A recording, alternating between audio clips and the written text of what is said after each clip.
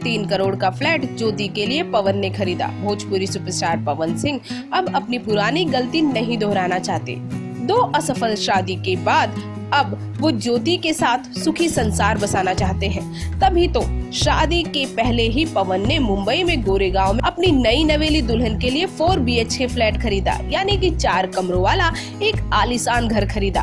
पहले पवन अंधेरी में रहा करते थे ये वही फ्लैट था, जहाँ उनकी दूसरी पत्नी नीलम ने आत्महत्या की थी।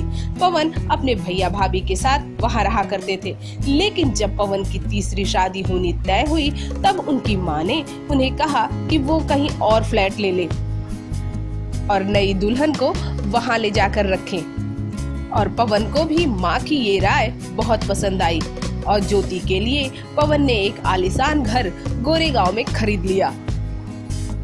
जहाँ पवन पवन की माँ और ज्योति तीनों वहीं रहेंगे। ये तो अच्छा है कि अपने सारे पुरानी कड़वी यादों को भुलाकर पवन सिंह एक नई ज़िंदगी जीने जा रहे हैं और इस नए जीवन के लिए हमारे तरफ़ से पवन और ज्योति को ढेर सारी शुभकामनाएँ।